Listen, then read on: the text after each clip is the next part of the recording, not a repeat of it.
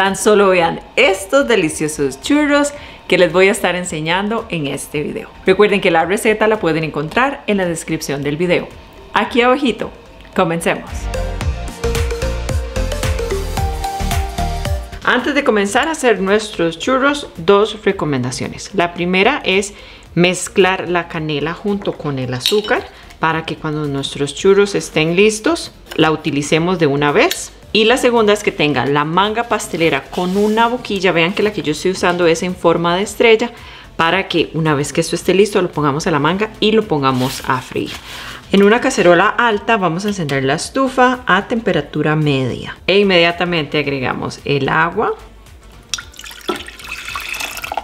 el extracto de vainilla, que por cierto, este extracto de vainilla lo compré en mi viaje a México y déjenme y les digo, una delicia, huele increíble y sabe delicioso también. Esa fue el azúcar, una pizquita de sal y vamos a agregar la mantequilla. Nos vamos a quedar aquí derritiendo la mantequilla poco a poco. Necesitamos que esto hierva, pero un hervor muy, muy, muy bajito. Ya cuando ustedes vean que la mantequilla se ha derretido por completo y lo mantenemos a esa temperatura, vamos a agregar la harina de golpe, con mucho cuidado. E inmediatamente comenzamos a mezclar con una cuchara. A mí me gusta hacerlo con una cuchara de madera y les recomiendo que lo hagan. Es bien fácil hacerlo de esta forma. Síganlo mezclando hasta que se deshagan de esas pelotas y nos quede una mezcla bien homogénea. Y ya cuando tienen esta pelota, véanla, súper homogénea y bien hermosa, véanla. Apagamos la estufa y aquí fuera del fuego vamos a agregar un huevo y seguimos mezclando. Van a ver o va a parecer como que se, separa y no está funcionando. Síganlo, síganlo mezclando. Ven que parece como que se está separando y no funciona. Sigan. Si quisieran hacer este paso en la batidora de, de pie, lo pueden hacer.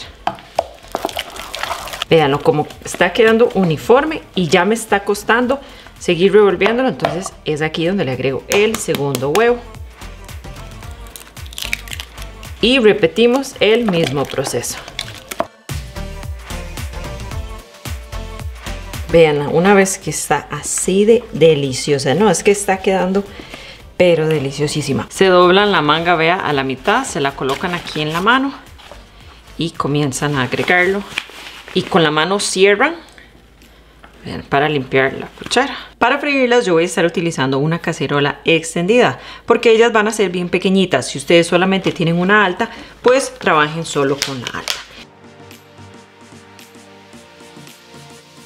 y vamos a encender la estufa a temperatura media. Una de las formas de darnos cuenta si ya el aceite está listo, vean, agarran un poquito con mucho cuidado.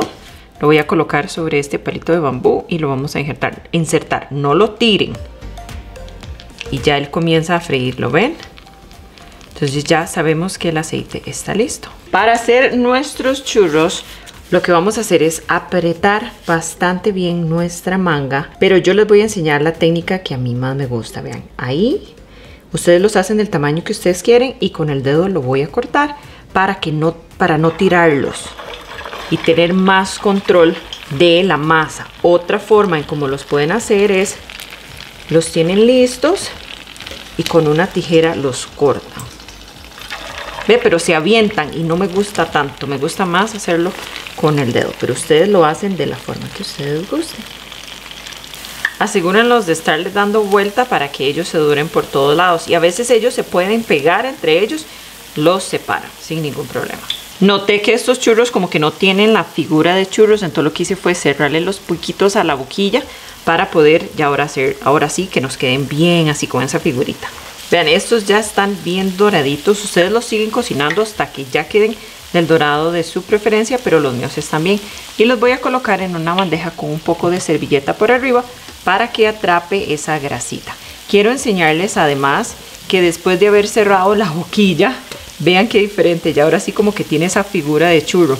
Esto quiere decir que si ustedes no tienen una boquilla en forma de estrella y solo tienen una redonda, háganla de forma redonda, igual se van a ver bien hermosos. Los míos se cocinaron alrededor de 5 minutos, pero otro indicador que pueden hacer es utilizar ver el doradito.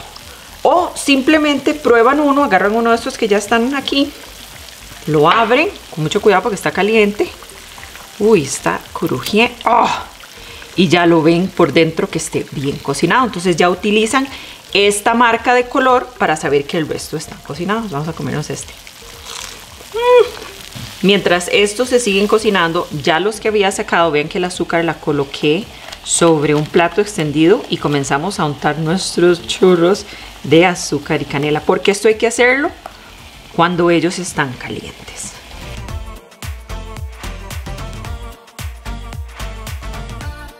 Para hacer nuestra salsa glaciado que le vamos a poner por arriba, voy a llevarlo en intervalos de 30 segundos al microondas hasta derretirlo por completo.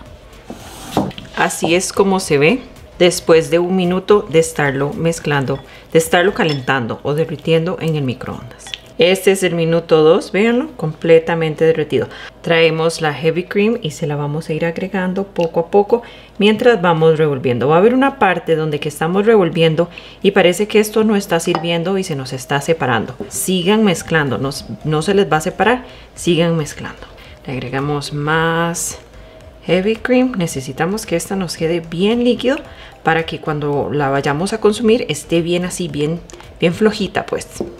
Esta es la consistencia que yo ando buscando. Vean qué líquido, que ella baje rápido. Cuando la tenemos así, la vamos a utilizar inmediatamente. Si quieren decorar unos con el azúcar y la canela y los otros con el chocolate, lo que van a hacer es que lo sumergen hasta tal vez un poquito más de la mitad o ustedes ven ahí cómo, cómo se las ingenian para hacer estos churros bien deliciosos.